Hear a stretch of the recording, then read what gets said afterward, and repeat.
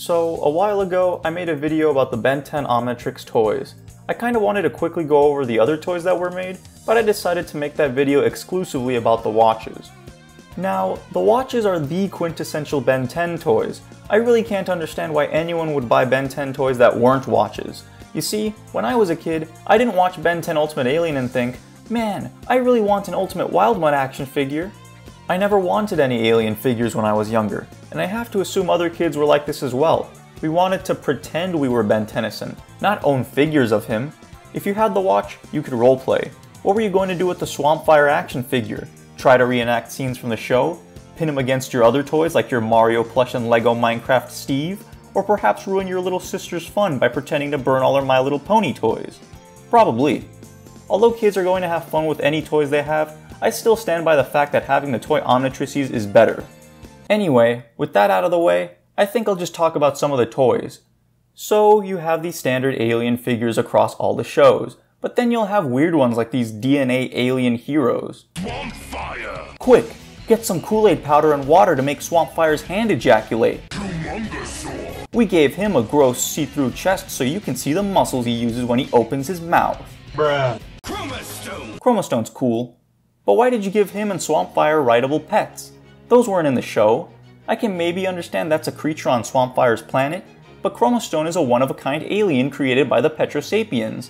If their planet was destroyed, Chromastone would act as a backup drive to bring everything back. With this in mind, does it make sense for him to have an alien pet? Minifigures. These things are whatever, honestly, but these Omniverse ones make me want to cry.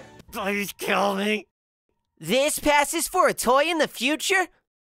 The Alien Creation Chamber. This is an abomination. Rip apart regular alien figures so you can interchange their parts. If you had this when you were a kid, you were no better than Sid from Toy Story. I just can't see why anyone would go, I want Jet Ray's head on Humongousaur's body. Ben 10 Metamorphic Figures.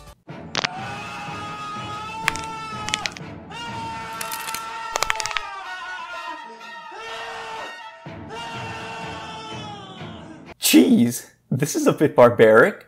Mangle Heatblast and Grey Matter to use them as a flashlight and pair of binoculars. Wildmutt got off easy. He just holds onto your door handle. No mangling necessary. We also have the Car Crashers.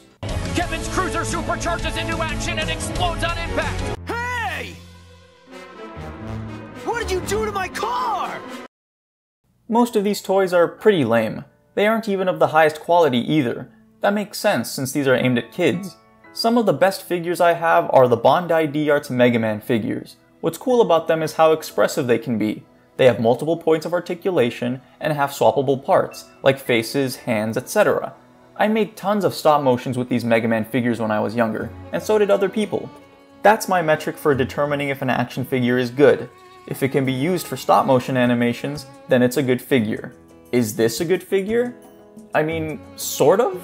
He can at least bend his arms and legs, but he's restricted to moving them up and down. That's pretty major, as he can't do any elaborate poses as a result. Since Bandai is the one making all these Ben 10 toys, they should have made some D-Arts versions of Ben 10 characters. That would probably be the only time I'd want an action figure of Ben Tennyson specifically. There are definitely a lot of other weird Ben 10 toys out there, but I just wanted to go over a few.